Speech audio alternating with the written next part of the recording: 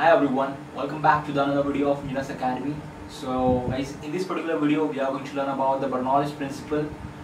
What is the exactly the derivation of the Bernoulli's principle, its statement, its derivation and its some of the applications. Also we'll check out some of the assumptions in the Bernoulli's principle. So guys please watch my video till the end and guys if you are new to my education channel Engineers Academy kindly subscribe to my education channel because your subscription really motivates me to make more of such educational content. So let's begin with our today's topic of Bernoulli's principle.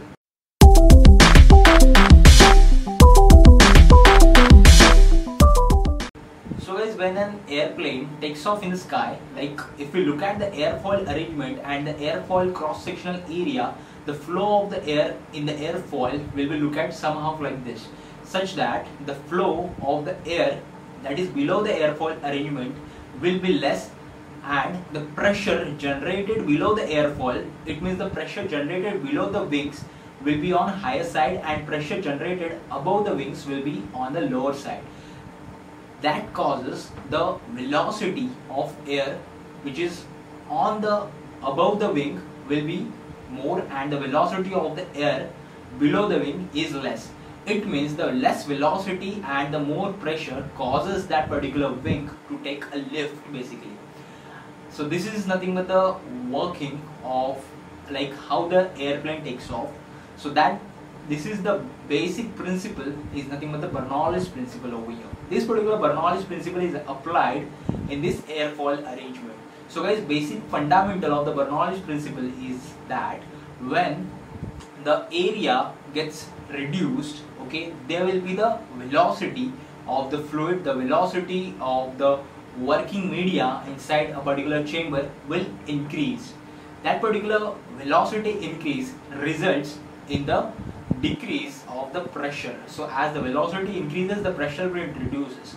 So this particular scenario or this particular uh, phenomenon can be called as the Bernoulli's principle. Also, let's take one another example.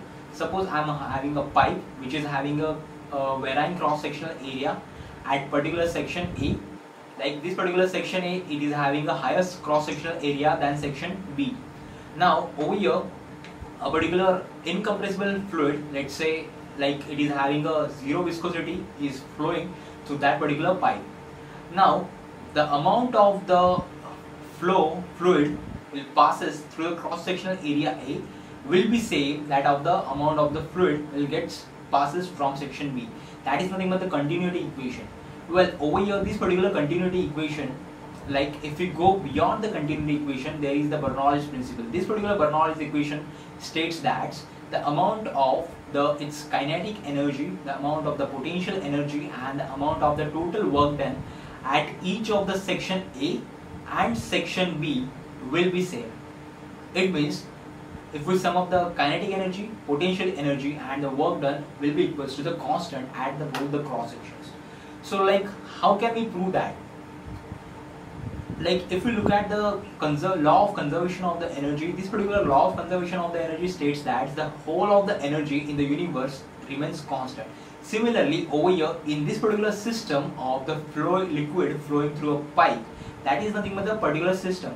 The whole of the energy flowing in that particular system will remains constant.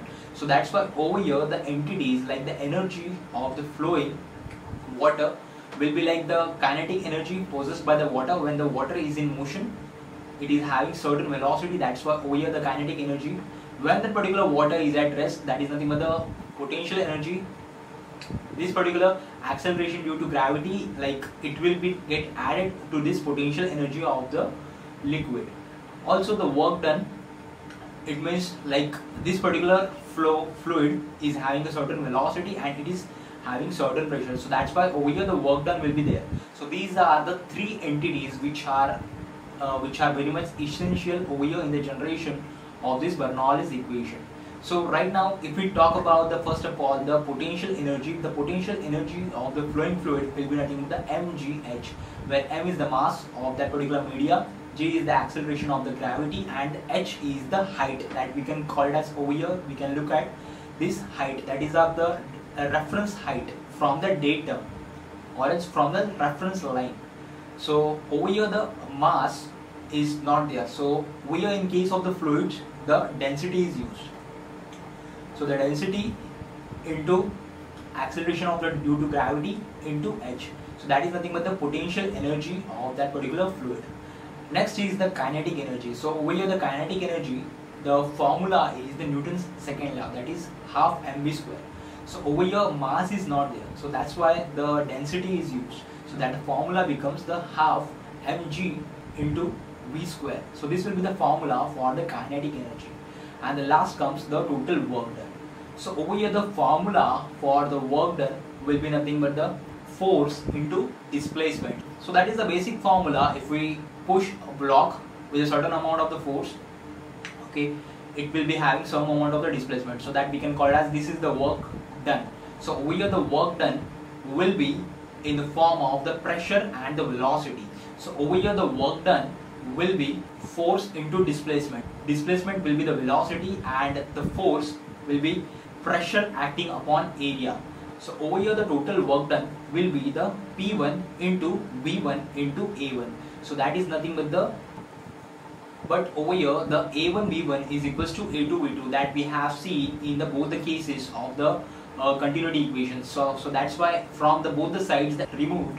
So that's why the total only the pressure is left uh, and this particular pressure will represents the total work done over here in the formula of the Bernoulli's theorem. So the net formula becomes this potential energy plus kinetic energy plus the work done at section A respectively will be equals to the potential energy, kinetic energy and the work done at section 2.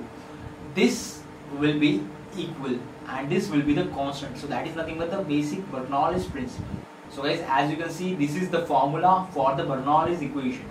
Now this particular Bernoulli's principle, Bernoulli's theorem can be applied in different, uh, like in the different experiment. Suppose at your house, if you're having a hose pipe, you can calculate the velocity, uh, which is entering in the hose pipe and the velocity that is velocity of the fluid which is coming out from that particular hose pipe. So you can calculate the velocities at different regions in the hose pipe. So that is the example of uh, we can get uh, of the Bernoulli's theorem. Also in a hydrostatic power plants like water is kept at a higher elevation and when that particular gates get open up like what will be the fluid velocity, what will be the velocity of the water. So that is that is the so that can be predicted by using this Bernoulli's principle, Bernoulli's theorem. So guys, these are such some of the examples of the Bernoulli's principle, Bernoulli's theorem. So that like uh, now let's move towards the some of the assumptions of the Bernoulli's theorem. So here the assumptions is that the flow is having the zero viscosity. It is having no viscosity. The flow is completely incompressible flow and the fluid is the real fluid. The flow must be steady. That is the flow parameters such as the velocity, density cannot change with respect to time the flow must be incompressible even though the pressure will rise with respect to time. The density must remain constant along the streamline. Friction by viscous forces must be negligible. So guys that was the, some of the assumptions which is there in the Bernoulli's theorem. So guys I hope you understood this uh, Bernoulli's principle and some of the application along with some of the assumptions. So if you're having any doubts, any queries, please leave a comment and please do subscribe to my educational channel Engineers Academy. Thank you so much guys for watching this educational video.